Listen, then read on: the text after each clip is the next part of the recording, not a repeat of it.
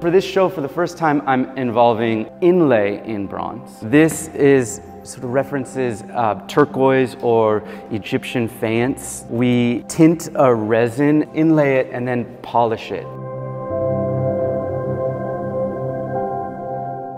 I've always been drawn to Japanese design. There's an attempt to summarize the essence of an idea uh, in, a, in a character. A letter isn't necessarily phonetic, it's actually a picture. It's trying to capture what is the essence of a tree, a man, a rock.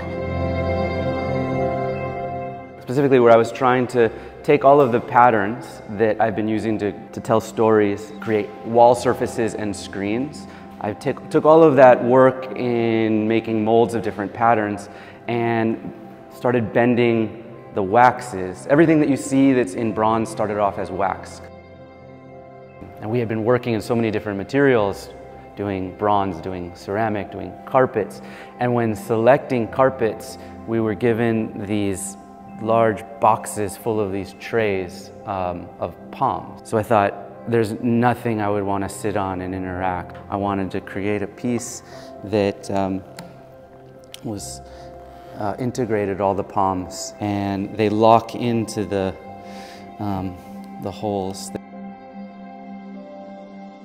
Love the idea of bringing you in and creating something very special that you want to touch. I encourage people to touch and use.